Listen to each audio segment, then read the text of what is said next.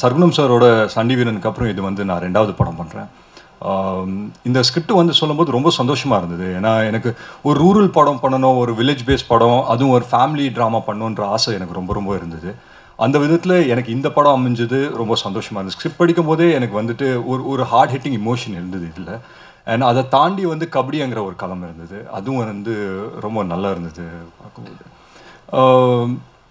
பொதுவாக வந்துட்டு இந்த மாதிரி கபடி படம் பண்ணால் ஒரு பிளேயராக இருப்பாங்க இருக்கிற கேரக்டர்ஸ்லாம் பட் நம்ம நம்ம டீமில் இருக்கிற கேரக்டர்ஸ்லாம் நான் ஆகட்டும் ராஜ்கிரண் சார் ஆகட்டும் ரொம்ப வித்தியாசமாக இருக்கும். So starting from Rajkiran sir அங்கேருந்து ஒரு பத்து வயசு பையன் வரைக்கும் எல்லாருமே நம்ம டீம் தான்.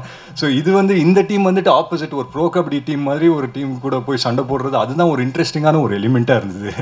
அண்ட் um, ரொம்ப சந்தோஷமாக இருந்தது. இத்தனை ஆர்டிஸ்டோட சேர்ந்து uh, ஒரு படம் பண்ணதில் ரொம்ப ரொம்ப சந்தோஷம். அண்ட் uh, நிறைய பேச முடியல. ஏன்னா வந்து அவங்களே மென்டலாக எல்லாருமே கேரக்டருக்குள்ளே இறங்கிட்டாங்கன்னு நினைக்கிறேன். நீங்கள் வேறு குடும்பம் நீங்கள் வேறு குடும்பம் அப்படின்னு சொல்லி அவங்களே டிசைட் பண்ணிட்டாங்க அப்படின்னு நினைக்கிறேன். முக்கியமாக சிங்கம்புலி சார் பற்றி சொல்லி ஆகணும். அவர் சொன்னார் நான் வந்துட்டு ஒரு வார்த்தை பேசினேன் அதுக்கப்புறம் ரெண்டாவது நாள் ஏழு வார்த்தை பேசினேன் அப்படின்னு சொல்லி. அது ஏன் அப்படின்னு சொல்லி அவர் சொல்லவே இல்லை. முத நாள் வந்துட்டு குட் மார்னிங் சொன்னேன். குட் மார்னிங் சொல்லிட்டு சரி பேசலாம் அப்படின்னு போகும்போது அவர் சாப்பிட்டுட்டு இருந்தார் சரி டிஸ்டர்ப் பண்ணக்கூடாது இல்லை சாப்பிடும்போது. அதுக்காக சரி ஓகே சார் அப்படின்னு சொல்லி பேசிட்டு போயிட்டேன். ரெண்டாவது நாள் போய் பேசும்போது அவர் சாப்பிட்டு தான் இருந்தார்.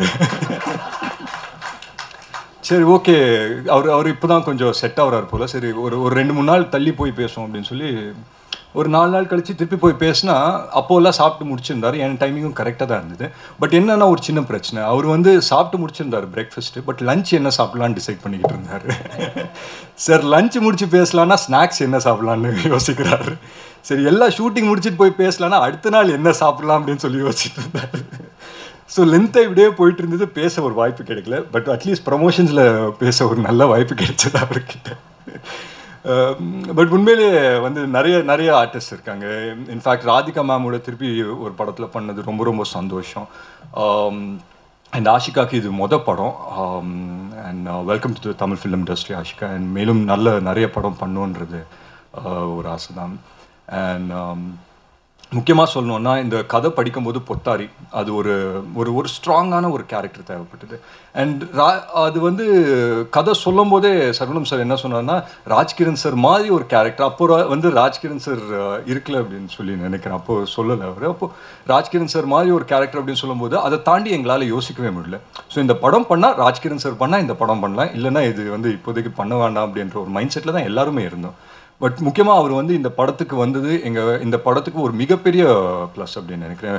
அண்ட் um, இப்போவும் வந்துட்டு ஒரு உற்சாகமாக ஒரு கபடி ஆடணுன்னாலும் சரி இல்லை மற்ற ஒரு ஒரு பர்ஃபார்மன்ஸ் ஓரியன்ட் ஒரு சீன் வந்தாலும் சரி அவ்வளோ மெனக்கிடுவார் ஒவ்வொரு விஷயத்துக்கும். அதை பார்க்கும்போது உண்மையிலேயே ரொம்ப பெருமையாக இருந்தது சார் அண்ட் ரொம்ப ரொம்ப சந்தோஷமாக இருந்தது.